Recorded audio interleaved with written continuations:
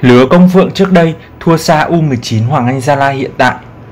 Tại vòng chung kết U19 Quốc gia 2020, trong lượt trận mở màn, cả U19 Hoàng Anh Gia Lai 1 và U19 Hoàng Anh Gia Lai 2 đều không chứng tỏ được sức mạnh như kỳ vọng.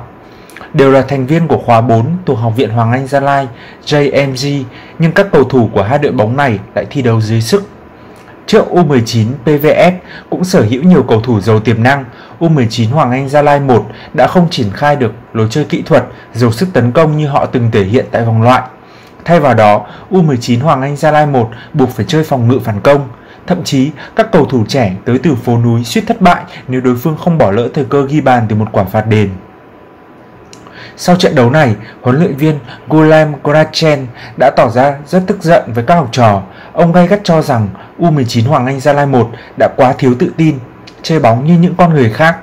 Chiến lược gia người Pháp cũng chỉ ra rất nhiều điểm yếu khác mà U19 Hoàng Anh Gia Lai 1 cần chỉnh sửa. Tuy nhiên, về phía huấn luyện viên Phạm Quang Thành, ông lại đánh giá rất cao lứa cầu thủ khóa 4 của Học viện Hoàng Anh Gia Lai JMG. Trao đổi với báo chí, huấn luyện viên Phạm Quang Thành cho biết PVF chơi rất khoa học và bài bản, đó có thể là ứng cử viên cho chức vô địch. Thực sự, U19 Công an Nhân dân hy vọng sẽ được gặp đối thủ này trong trận chung kết. Có thể nói, từ khi Châu về nắm quyền tại PVF, thì lối chơi của các đội tại đây đã hiện đại hơn rất nhiều. Riêng về hai đội U19 Hoàng Anh Gia Lai 1 và 2, tôi đánh giá cao U19 Hoàng Anh Gia Lai 1 dưới sự dẫn dắt của huấn luyện viên Gretchen. Lứa này chơi hay và hiện đại hơn rất nhiều so với lứa Công Phượng. Thời Công Phượng gần như chỉ chơi ban bật nhỏ một chạm, bị đối thủ bắt bài là không đá được.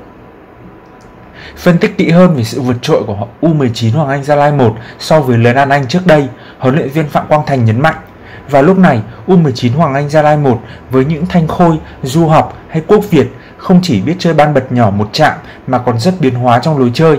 Họ biết cách tấn công biên, đánh trung lộ và lật cánh đánh đầu rất hay và nguy hiểm. Nếu được, tôi hy vọng sẽ đối đầu với U19 Hoàng Anh Gia Lai 1 tại bán kết và U19 PVF trong trận chung kết của giải.